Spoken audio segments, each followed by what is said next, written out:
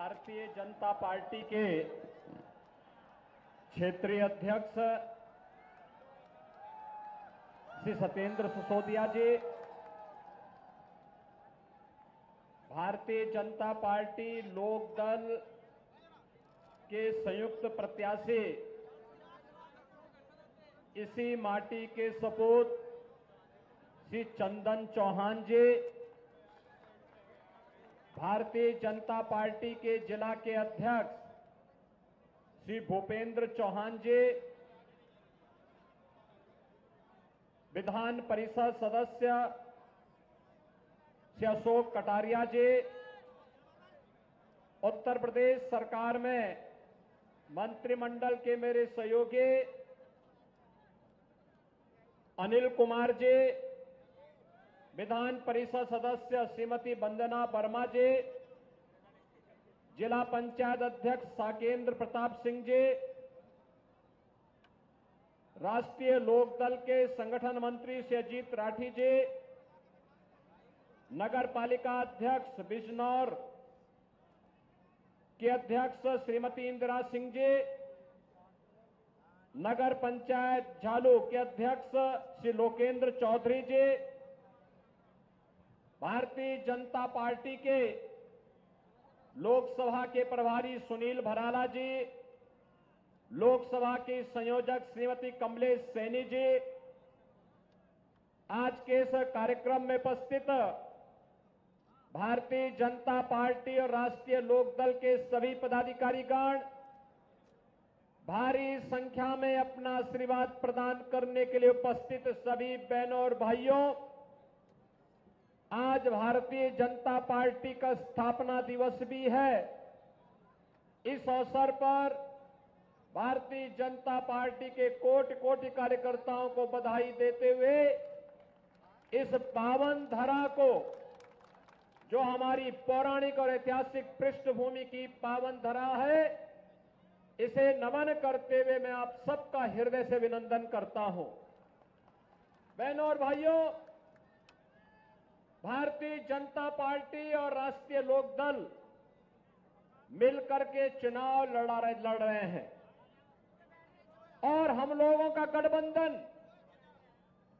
प्रधानमंत्री मोदी जी के संकल्पों को आगे बढ़ाने के लिए तीसरी बार मोदी जी को देश की बागडोर सौंप करके विकसित भारत की परिकल्पना को हम साकार कर सके इस दृष्टि से हम सब मिलकर के कार्य कर रहे हैं।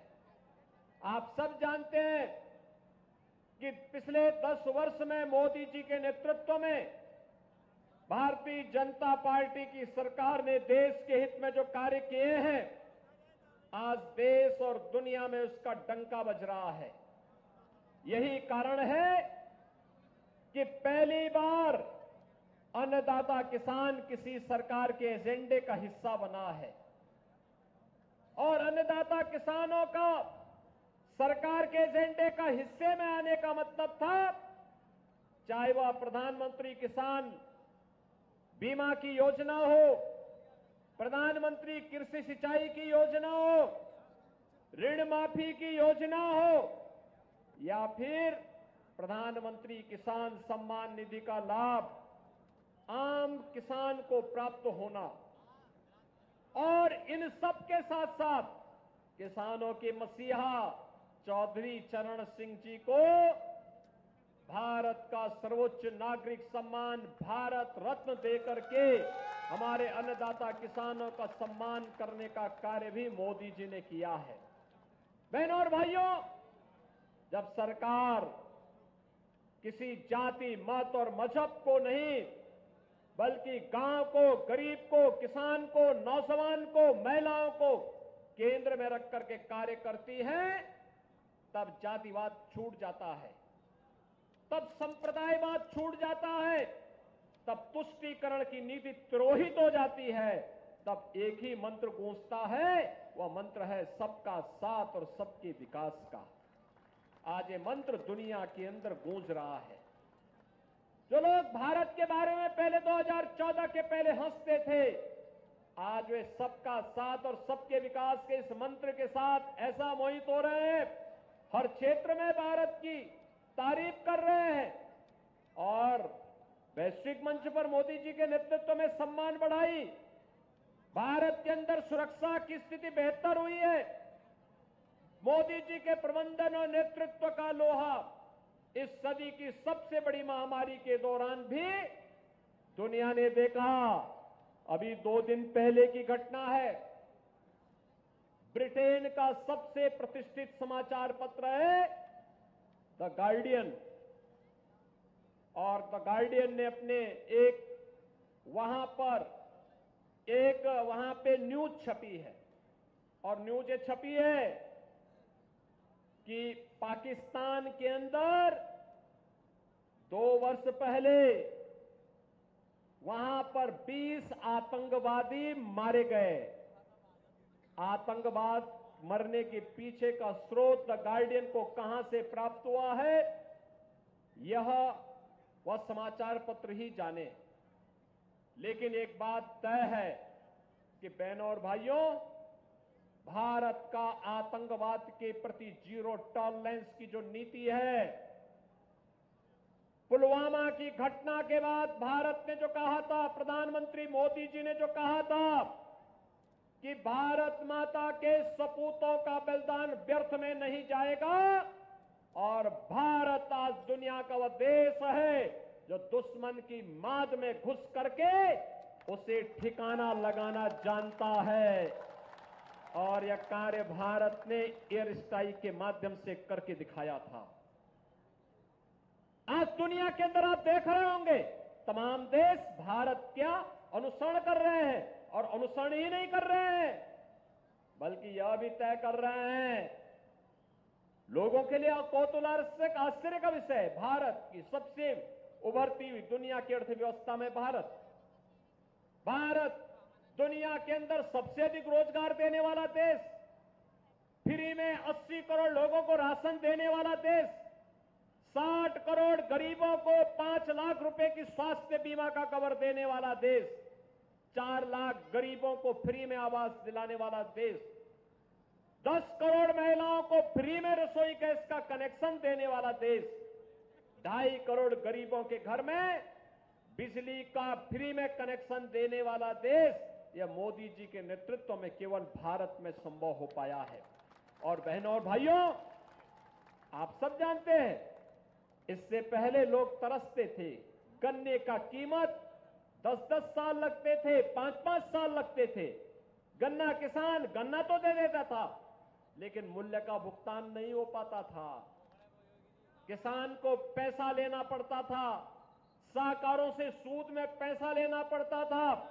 हमने सुनिश्चित किया है 120 चीनी मिलों में से 105 चीनी मिलें। एक सप्ताह के अंदर गन्ना मूल्य का भुगतान कर रही हैं। जो बाकी 15 हैं, इनके भी पेच कसे जा रहे हैं कि हम उसी को चलाने देंगे जो समय पे गन्ना मूल्य का भुगतान करेगा, जो नहीं करेगा, उसका नीलाम करके अन्नदाता किसान को ही फैक्ट्री का मालिक बना देंगे। बहनों और भाइयों, बिजनौर में भी विकास हो, महात्मा बिदुर की धरती भी विकास के साथ जुड़े। यह भी एनडीए की, भाजपा की सरकार ने ही किया। महात्मा विदुर के नाम पे मेडिकल कॉलेज हो, चाहे यहाँ के हाईवे हो। आज आप देख रहे होंगे, वर्ल्ड क्लास हाईवे हमारे बिजनौर जनपद में भी बन रहे हैं। गंगा मैया, यहाँ की आत्मा है। अब गंगा मैया की शुद्धि के लिए भी नमामि गंगे जैसी परियोजनाएँ चल रही हैं। आप याद करिए, मैं स्वयं बिजनौर में आया था, गंगा यात्रा निकालने के लिए, और बिजनौर से लेकर के बलिया तक हम लोगों ने माँ गंगा के किनारे किनारे यात्रा निकाल करके व्यापक जन जागरण का कार्यक्रम किया था। बहनों और भाइयों, जैसे देश के अंदर सुरक्षा का वातावरण बना लोग इसी उत्तर प्रदेश के लिए कहते थे, क्या दंगा मुक्त हो पाएगा? आज तो उत्तर प्रदेश में दंगा मुक्त है। कोई दंगा नहीं। सुरक्षा का कोई खतरा नहीं। बेटी की सुरक्षा भी और व्यापारी की सुरक्षा भी। बेटी की सुरक्षा और व्यापारी की सुरक्षा, हर नागरिक की सुरक्षा। और हमने तय किया है, कोई सोचता था पाँच वर्ष पहले तक सात वर्ष पहले तक, दस वर्ष पहले तक कोई सोचता था कि कश्मीर में आतंकवाद समाप्त होगा? धारा 370 समाप्त होगी। लेकिन आज कश्मीर आतंकवाद और उग्रवाद से मुक्त है। कोई सोचता था पाँच वर्ष पहले कि अयोध्या में रामलला का भव्य मंदिर बन पाएगा?